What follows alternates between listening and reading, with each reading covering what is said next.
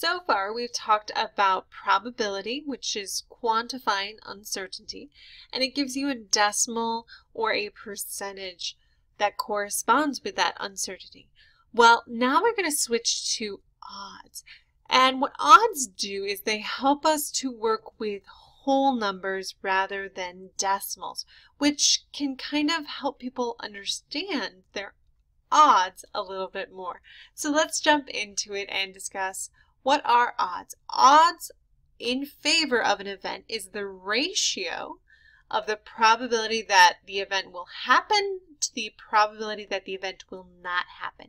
So essentially you're comparing how many ways it can occur to how many ways it can't happen.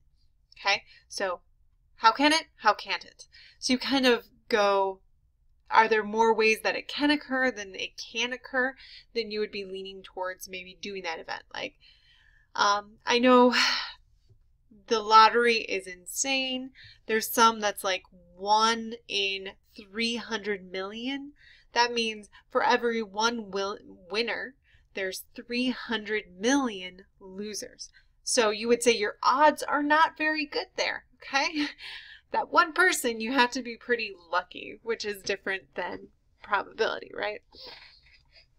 So, what are the odds that a randomly chosen day of the week is Sunday? Well, you'd have to go ahead and look at how many days are Sunday. There's only one, right? So that would be your first number. And then how many numbers are not Sunday would be your second answer. Well, there's six other numbers that would not be Sunday. So one, two, six. So some notes on odds. The two numbers should add up to the total number of outcomes. So you see 1 plus 6 adds up to the total number of days of the week, which is 7. Um, and this will be happening for all odds. So it's a good way to double check yourself. Odds will also always be whole numbers. You will not have any decimals, which is nice because you don't really have to do any calculations besides subtracting. So pretty nice overall. So 1 to 6. If you can, you always want to reduce. So for example, if you had 2 to 6, maybe we were looking at the weekend, Saturday and Sunday, um, 2 to 6, notice that both of these numbers are divisible by 2. That means you can reduce by dividing each of these numbers by 2 to give you 1, 2, 3. So you're just reducing and saying for every one winner, there's three losers. That's essentially what you're saying there.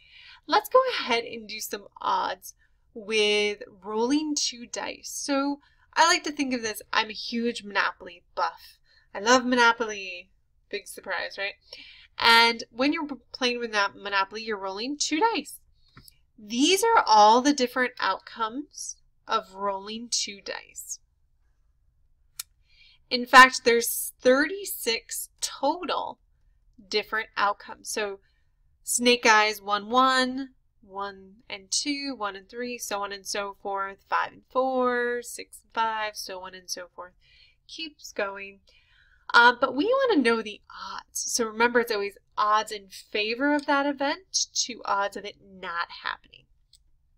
So the ro you roll doubles is the first event that we need to find the odds for.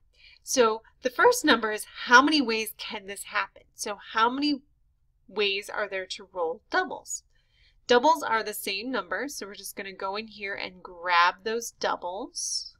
Go down the line here. These are all the doubles, 6, 6, 5, 4. Oh, I see there's an error here. This should be a 5, 6, sorry. That one has a little error. But anyway, 6, 6, 5, 5, 4, 4, 3, 3, 2, 2, and 1, 1. So there are 1, 2, 3, 4, 5, 6, six ways to roll a double. And since we're doing odds, we need to find the number of ways to not roll a double. Well, that would be everything else. So I can just take the total, which is 36, subtract off that original number, 6, to find there are 30 ways to not roll doubles. So for anybody that plays Monopoly, 30 ways to not get out of jail. The next event I changed slightly is the sum of the two dice is 5. So what this is saying is that the sum of the two dice, which is when I add the two dice together, I need to get 5. So let's go over here to our 36 events and pick which of these add to 5. So 3 and 2 are going to work. 2 and 3, 4 and 1. Okay, that looks like about it for those that are going to add up to 5. So it looks like we have one, two, three, four possibilities. So that's the first number. The second number is how many possibilities or outcomes that do not add up to 5? Well, that's everything else, right? So again, we can just take the total, which is 36, and subtract off how many outcomes we have here, which is 4, which means there's 32 dice that do not add up to 5. Okay. Now, this can be reduced 4 and 32. Both of these are divisible by 4.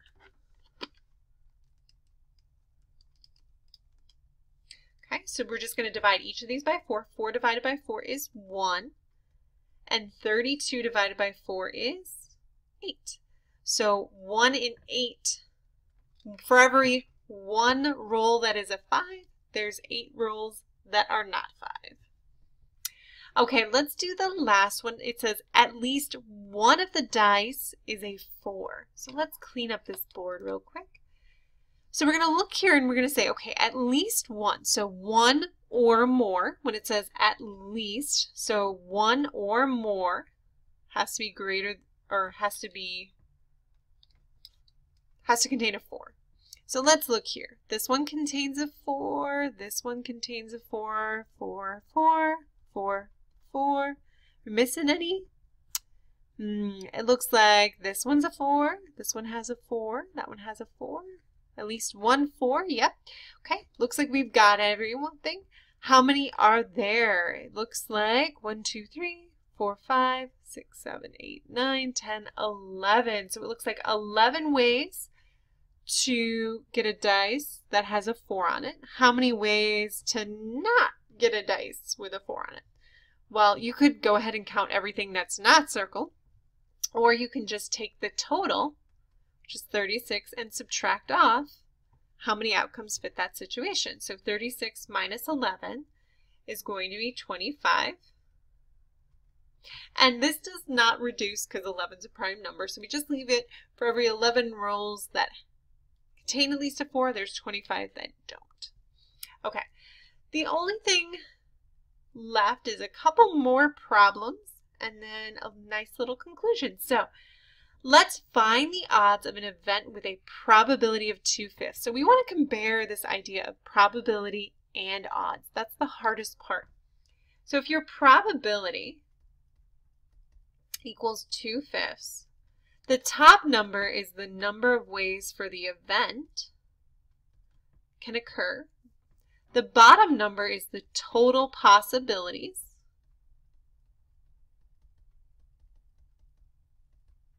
So we need to find the odds.